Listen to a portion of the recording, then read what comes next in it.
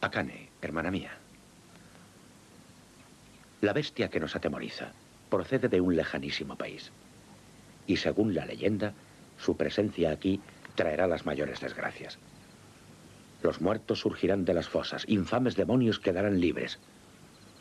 Los espectros de brujos y asesinos saldrán de sus tumbas para atormentar a los hombres.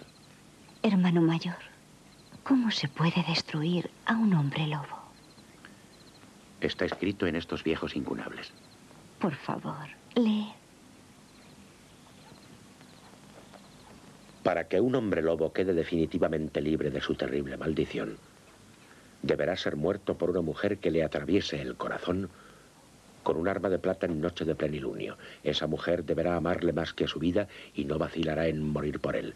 Pero si por el contrario el licántropo es abatido por el miedo o por el odio, cuando la plata le sea arrancada, regresará a su desdichada vida para sembrar la muerte y la destrucción. Entonces, puede liberarle solo. Un auténtico y gran amor.